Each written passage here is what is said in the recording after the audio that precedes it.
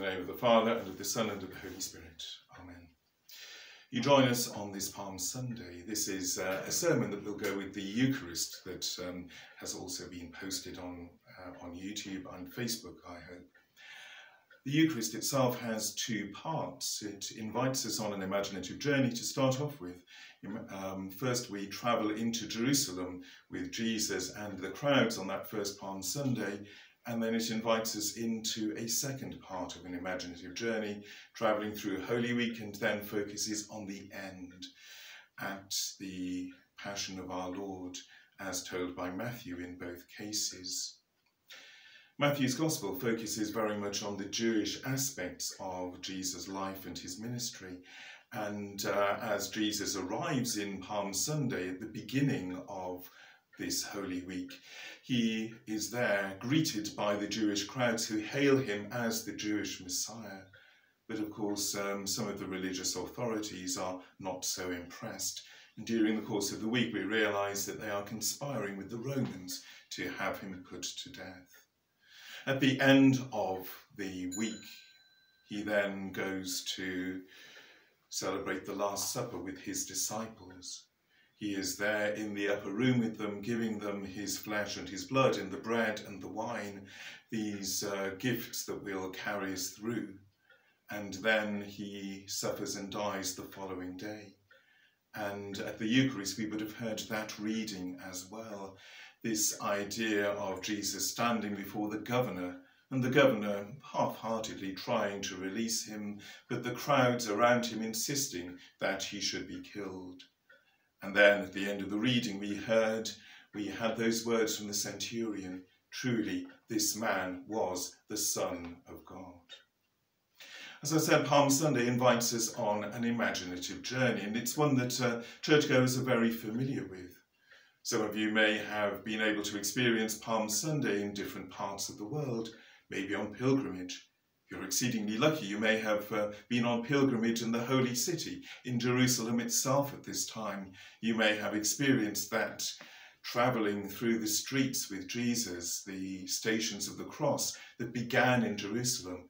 And many people this week will, in their homes, travel with Christ on that imaginative journey, on the journey of the stations of the cross.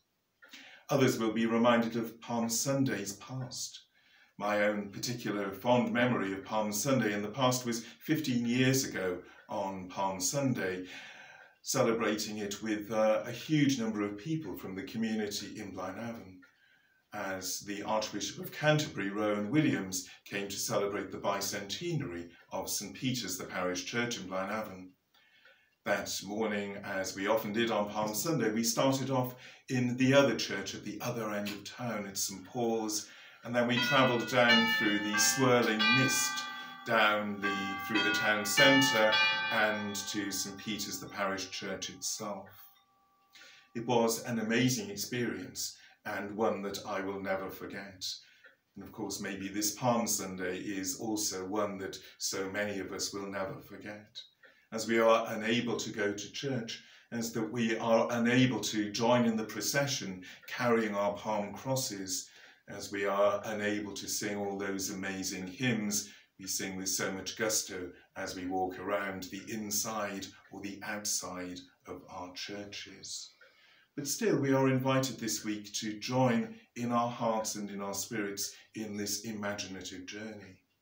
We are there with Jesus at the Holy City, greeting him as not just the Jewish Messiah and Lord, but as our Messiah and Lord. As we travel through Holy Week, we experience him teaching the crowds in the temple as he did on that first Holy Week. We see him there at the Last Supper. We see him there hanging on the cross. And maybe his words, My God, my God, why have you forsaken me, resonate with us very powerfully this year. However, this isn't the end of the story by any means. Palm Sunday is focused not so much on Good Friday, but on Easter Day. As we travel this imaginative journey through Holy Week, we are travelling towards Easter Day itself. Jesus didn't just come to the Holy City to suffer and to die. He came to the Holy City to suffer, to die, and to rise again. And that is where our focus should always be on the risen Lord Jesus, who underwent suffering but triumphed over it and now leads his people into eternal life with him forever. So at the beginning of this Holy Week, I invite you to join us all in your hearts, in your homes, in your minds on this imaginative journey through Holy Week, through Good Friday, through the cross, and then to the glories of Easter Day, which, of course, we shall be celebrating here once again next week, but which we celebrate in our hearts every day of our lives, every moment of our lives, and with every breath we take as we celebrate our living and loving Lord Jesus. Amen.